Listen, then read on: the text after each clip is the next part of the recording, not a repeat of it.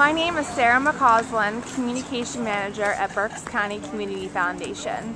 And today I'm here at the Chalk It Up event located at the Penn Street Market at Penn and 8th Street, which was organized by the Berks Agricultural Resource Network.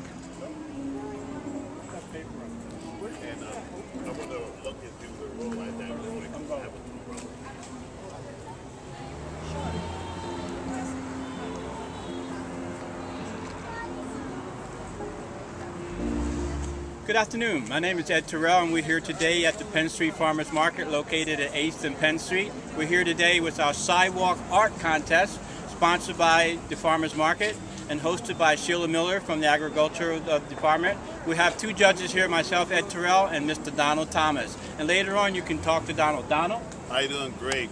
It's an exciting day here to see people come out and make chalk talk the colors are really great. If you ask me what the color scheme is going to be for the day on the chalk is blue. Because everything seems to be vibrant and alive and, and has that outdoor look to it.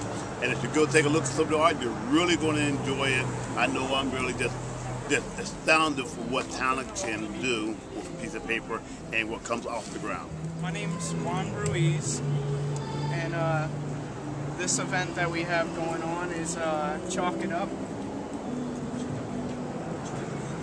We're all supposed to do a chalk pastel drawing and uh, we get prizes at the end. Juan, how did you get involved in the event today? Um, I learned about this uh, contest through uh, Ed Terrell and uh, he pretty much put me onto this and um, thought it was a cool idea so I came through and joined. And I'm today standing with Sheila Miller at the Penn Street Market, who's responsible for this fabulous event. Sheila, tell us why we're here today. Well, Chalk It Up was an idea that I came up with to try and get more people to experience the Penn Street Farmers Market, as well as to enjoy a day outside and to get some fresh air and some uh, great taste in art. And uh, we can also help to try to promote some of the talent that we have here in the city of Reading coming here, displaying their artwork, and getting the spectators to actually weigh in and vote for their favorites. So it's a great way to get people to come together here in this community to share the talents, to share good food, and to share a nice afternoon on a Friday. What was your inspiration for holding this event?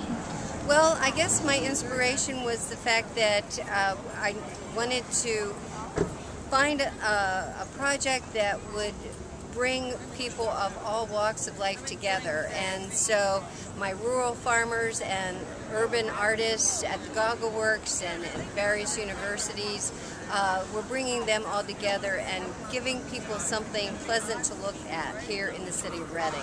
So uh, my inspiration, I can't say it was my all my own ideas, uh, but I've gotten a lot of help from the Sovereign Center and from the Community Foundation with a grant, and I'm just so thankful of all the partners that have helped make this a good start. I can't say it's an absolute worldwide success, but we'll build on it next year. I'm not um, technologically savvy at all.